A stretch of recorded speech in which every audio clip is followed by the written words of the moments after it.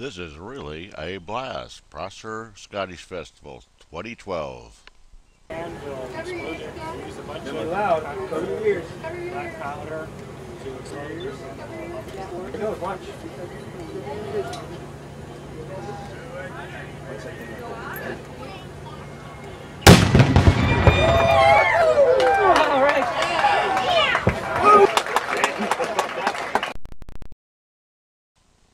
This has definitely been very stinky production today. Bye bye.